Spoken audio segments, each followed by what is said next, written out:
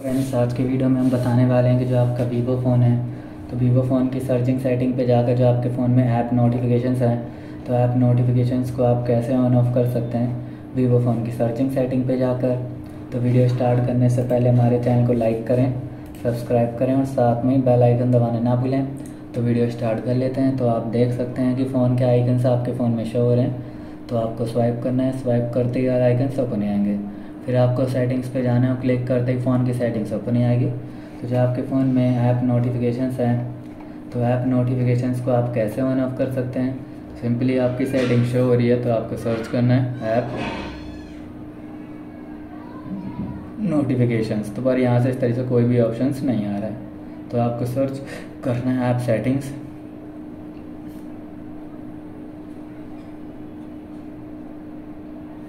तो app setting search करती है आपकी सेटिंग्स यहाँ से शो हो जाएगी, देख सकते हैं आप। तो आप देखते हैं कि यहाँ से आप ऐप नोटिफिकेशंस को ऑन ऑफ़ कर सकते हैं और किसी भी, जो भी ऐप्स होते हैं आपके फ़ोन में, जो भी ऐप्स के नोटिफिकेशन है, इस तरीके से आप ऑफ़ कर सकते हैं और ऑन भी कर सकते हैं। तो इस तरीके से ऐप नोटिफिकेशंस को ऑन ऑफ़ कर सकते हैं अपने सर्चिंग सेटिंग पे जाकर। साथ में जैसे अगर आपको ऑप्शन नहीं मिलता था फ़ोन की सेटिंग्स पे जाकर भी ऐप्स नोटिफिकेशंस को ऑन ऑफ़ कर सकते हैं। जैसे फ़ोन के आइकन्स हैं आपके फ़ोन में। शो हो रहे हैं तो आपको स्वाइप करना है। स्वाइप करते ही ऑल आइकन्स ओपन ही आएँगे सेटिंग्स पे जाना है और क्लिक करते ही फ़ोन की सेटिंग्स ओपन ही आएगी तो ऐप नोटिफिकेशन को ऑन ऑफ़ करने के लिए आपको नोटिफिकेशन सेटिंग्स पे जाना है और क्लिक करते जो भी आपकी ऐप्स की नोटिफिकेशन सेटिंग्स है ओपन हो जाएगी।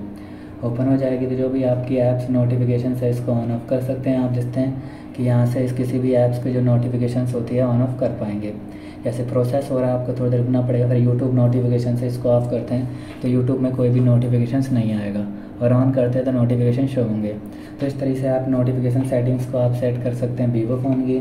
सर्चिंग सेटिंग पे जाकर तो आपको वीडियो अच्छी तो लाइक करें सब्सक्राइब करें और साथ में बेल आइकन दबाना ना भूलें। Thank you